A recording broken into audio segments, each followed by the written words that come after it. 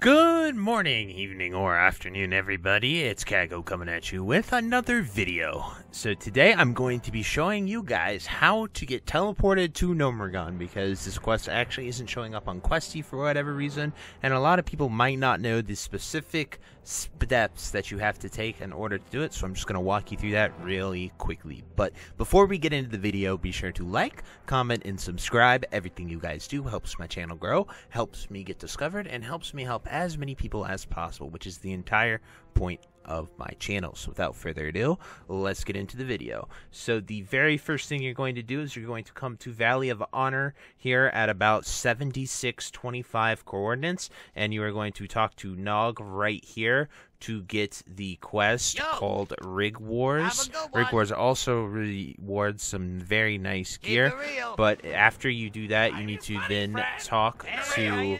Uh, this guy right over here in order to get the next thing from engineer chief engineer scotty.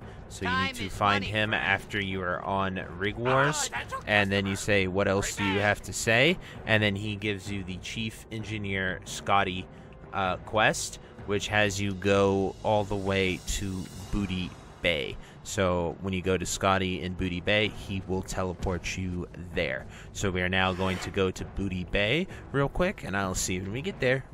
Alrighty, guys. So after you arrive in Booty Bay, you just simply have to run over here to the teleporter, which is right by the inn.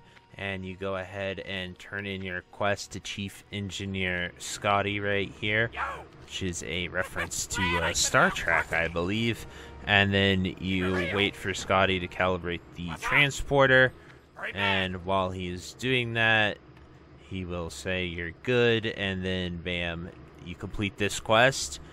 And then you can now simply walk right into this portal to do Gnomeregan. So just a really quick, easy steps. The coordinates of this portal are 2777, and it's right outside the inn here in Booty Bay. So you can just walk right in, and it teleports you to Gnomeregan as a Horde player to which you that can then just run in to the instance if you so choose and then you can just freely go back and forth if you want. But anyway that's it for this video. I truly hope it helps you guys out. If you think i missed anything uh, just definitely let me know down below in the comments and i'll do my best to get back to you guys. But until next time i'll see you later. Hope you have a great day. Bye bye If you made it to the end of this video, thank you so, so much for watching. It truly means a lot to me. If you happen to find anyone that you know would also benefit from watching this video, please, please, please share it with them. It helps me out a ton and allows me to keep doing what I love every single day, and that is gaming and sort of helping people any way that I can.